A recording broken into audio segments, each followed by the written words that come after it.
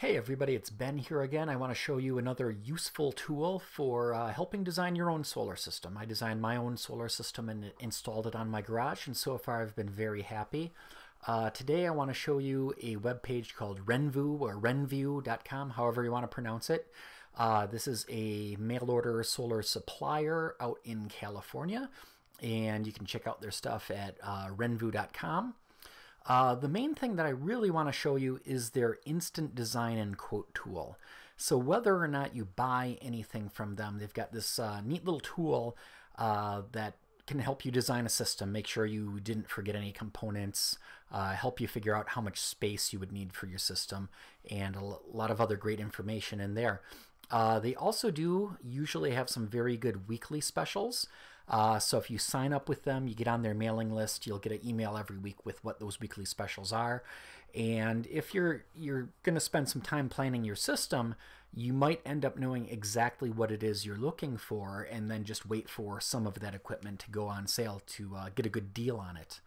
Um, they also have some other good links here under plan and design. They have calculators and they have links to a number of uh, other online tools, including the PVWatts tool, which uh, was my last video.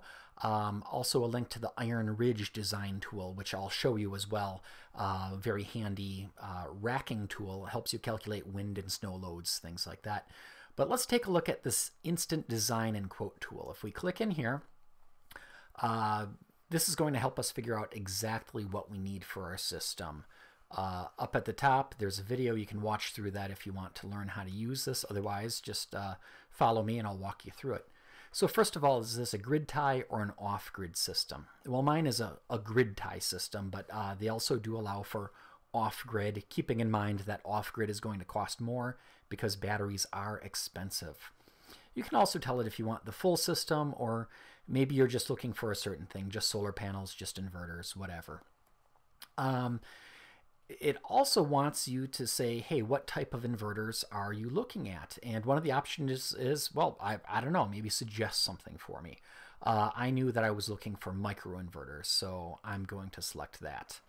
Then also, do you want to choose certain brands and products? Maybe there's a, a very good reason why you want to use a particular brand, or, or maybe not. Maybe just whatever's a, a good price. Uh, either way, you can select that. I'm going to do kind of a walkthrough of what I did with my system. So I'm going to tell it, um, sure, I want a full system, but I'm going to be going with microinverters. And yeah, I'm going to I'm going to pick my own brand names here. We'll hit continue. Uh, first thing, uh, solar panels. Uh, what I'm going to do here is I'm going to pick some, let's see, SolarWorld, American made. Uh, now, in my system, I actually got my solar panels from somewhere else, and they're not even listed on here. Uh, so we'll just use the SolarWorld uh, panel here as an example. Click it, hit continue. Now, how are these solar panels going to be mounted?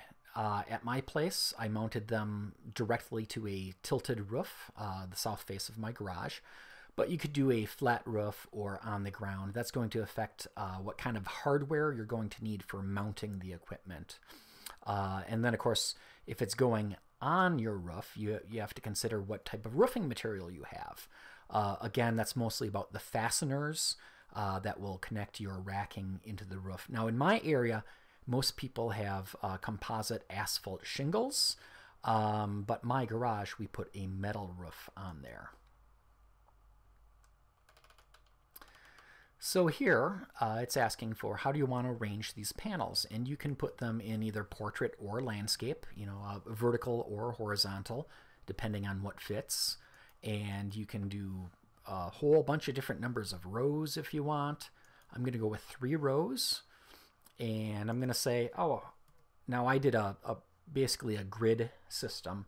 So I had eight panels in each of the three rows. But let's say there's uh, something blocking um, a row on your roof. You know, you have a, a, vent stack from a bathroom coming up, or maybe a skylight, or or something else. You could change this. You could say, well, I only want uh, six panels here because um, part of it's going to be blocked by something coming through the roof.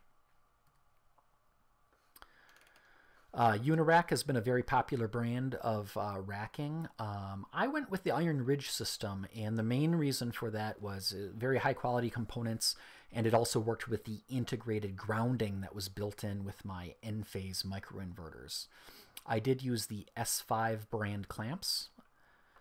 Um, four foot span is also what I did, although I did go with the standard duty racking uh, just to make sure everything was nice and solid for uh, wind and snow loads in my area. So down here, it actually now shows uh, kind of a little diagram of, of what things are going to look like. Um, and this essentially is exactly what I put on my garage. Um, it was uh, about 18 feet from the peak to the eave and 29 feet from one edge out to the other. I found this hilarious, this little bug here, uh, 26 foot 12 inches, which is, of course, uh, 27 feet. I, don't know why that's an error in the system, but that should be 27 feet. Uh, keep in mind, uh, at this point, you would have already been up on your roof, measured, and made sure that you knew exactly how large your roof is. Uh, the other thing you have to account for is in some areas, uh, you may be required to have a very specific setback from the edge of the roof, uh, typically three feet on either side and three feet from the peak. Uh, in my area, that was not an issue, but that is something you do need to check on. So now we've got our racking sketch, all this figured out. We'll hit continue. And it says, okay, which inverters do you want to use? And another question is, what is the minimum temperature in your area? That's important because solar panels will put out higher voltage the colder they get. And if you live in a, a cold, wintry area, it's actually possible for your solar panels to output a high enough of a voltage to, in some cases, just cause your inverter not to work, and in other cases, to actually damage the inverter. So that's why that's important. Um, I'm using Enphase's older system. Uh, their newer system of uh, microinverters is the IQ. Uh, and then there's other companies that make microinverters as well. So we're just showing some of these on here. I'll pick that just because that's what I actually used. Uh, here's another interesting thing. This power inverter rating of the panel versus the inverter. This took a little while for me to wrap my mind around. Um, I used 260 watt panels, but the inverters that I used, they're only rated at 215 watts. And if you look up the specs, uh, this inverter can actually go a little higher than that. Um, what's kind of interesting is that that 260 watts of my solar panels, that is the, the, the peak output. That is only under scientific standard test conditions, uh, conditions that really never happen in the real world. And in fact, when the solar panels, when you would expect them to put out the most power in the middle of the summer, uh, it's also when it's hot outside. And solar panels uh, will output a reduced power when they're hot. So what happens is you, uh, if you're working with microinverters, you actually don't need a microinverter that can that's rated for the same number of watts as what your solar panel is. Um, I did a little re research on this and actually found out that these Enphase 215s were really quite a good match for my Helios 260 watt panels. And th that's what this is all about here. Um, commonly, uh, you might want solar panels to be about 125% uh, the wattage of your actual uh, microinverter. And if instead of going with microinverters, if I, uh, I go back here, I go to previous, and let's tell the system that we instead want, uh, instead of microinverters, uh, a more the traditional string inverter, and then continue our way through again. Again, still the same modules, still on a metal roof, the same configuration. And we continue to get back to this point. Give it a second to load.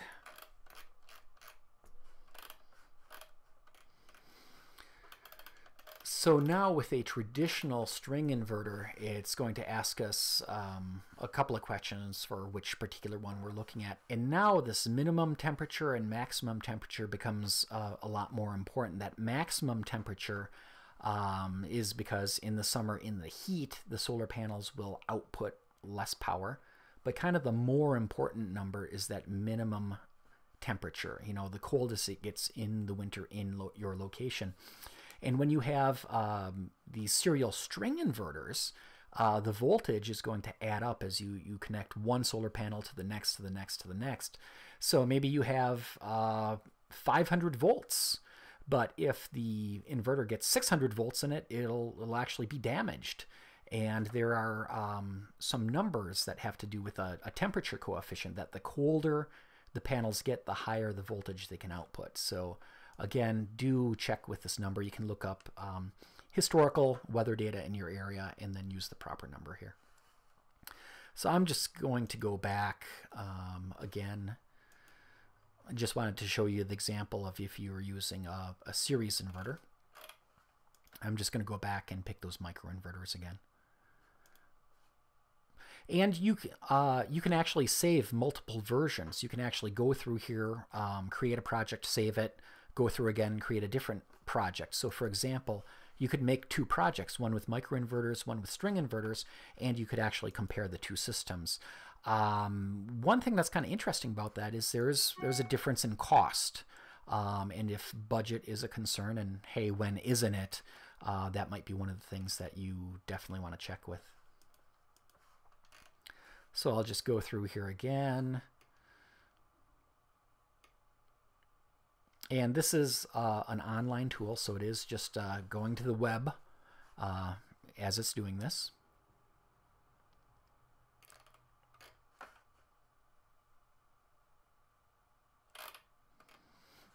Okay, so here I'm going to select those inverters again. Add monitoring. We'll hit yes.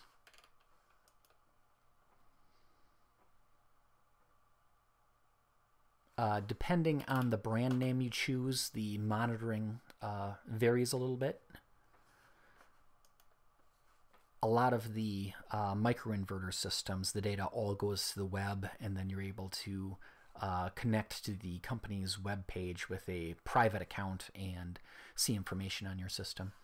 Balance of system, or BOS, that's the cables, uh, disconnect, uh, labels, tools, all of those different things you'll need for the system.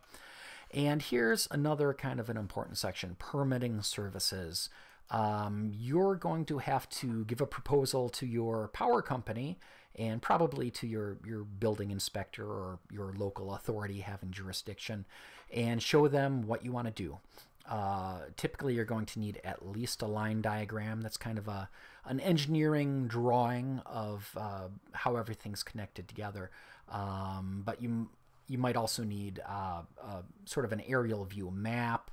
Uh, you might need to specify exactly where all the pieces of equipment are located, things like that.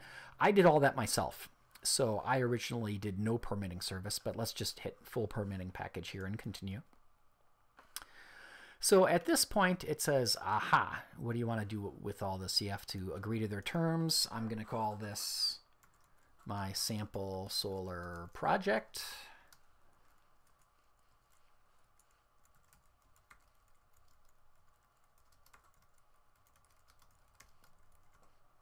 And basically when I hit continue I'm saving it. It's going to uh, generate all the information about the system. Uh, just takes a minute to go through. Um, the big thing that it does right away is it gives you uh, a list of all of the components that you need and it's going to be uh, how many of the solar panels, the details of the solar panels, how many of the microinverters or a single string inverter if you went that way, uh, any special cables that you'll need. Uh, with the microinverters, you need a special connector that goes on the unused end of the cable. So you need a branch terminator. Um, there's a tool to unplug uh, the microinverters. Uh, you need that tool. Um, communications gateway that lets me um, have the microinverters uh, talk to the internet. It's also used to commission them. Um, here, this is the S5 clamps.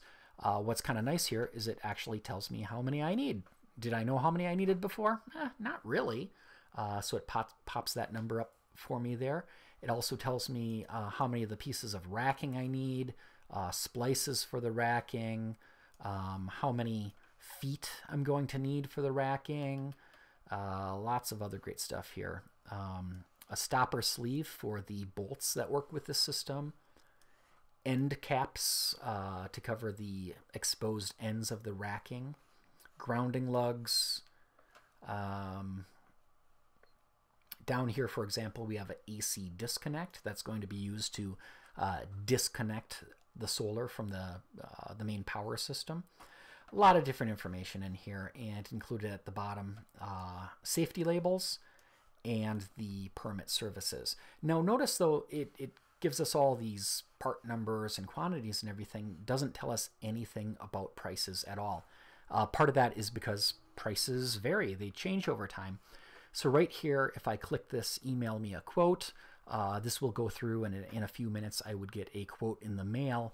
Um, that would even start an order where I could basically say, yes, this is exactly what I'd want. I could come back to the web page and order it.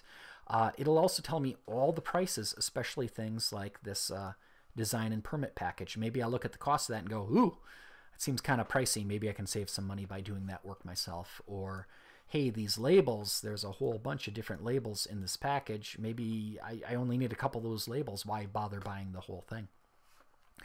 The other thing that's kind of nice here, uh, design drawings, there's the panel layout. So if we click that, that is um, that layout for the solar panels and we know what those sizes are. This is a great thing to print out uh, and definitely helps you laying out the racking and then uh, arranging and laying out the solar panels.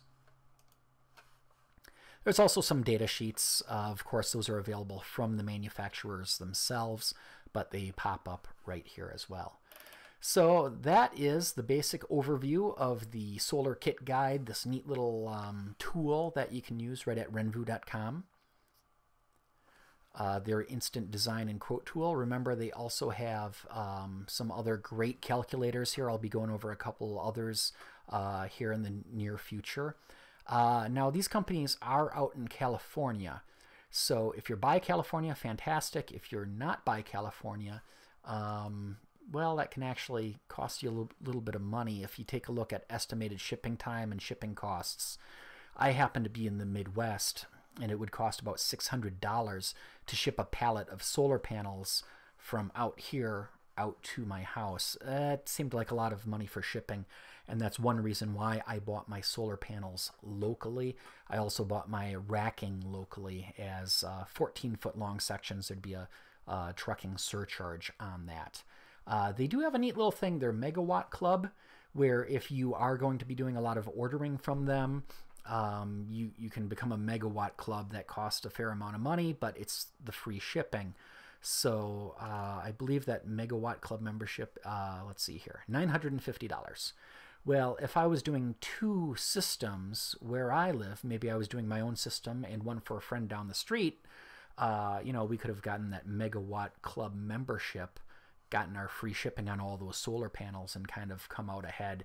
So if you do want to buy from these guys, that is uh, one thing to consider. I have heard of more than one person going in together, uh, sharing an account, and uh, being able to take advantage of that Megawatt Club membership. So anyways, that's renvu.com. They've got some very nice uh, online mail order prices, but more importantly, they have some handy little tools for you to use to help design your solar system. Until next time, stay charged up.